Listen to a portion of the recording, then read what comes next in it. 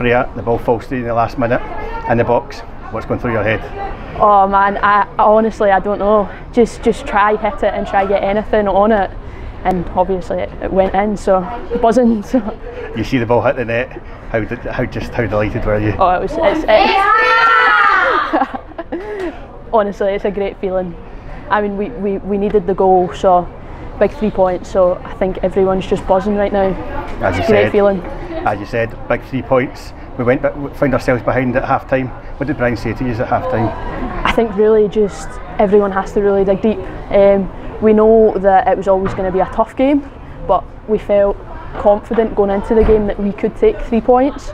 So I think just everyone just needs to dig deep and really we, we, we know we know we're good enough to go and get the three points. So I think it was just um, everyone just needs needs to work hard and fight for each other and hopefully the result goes our way.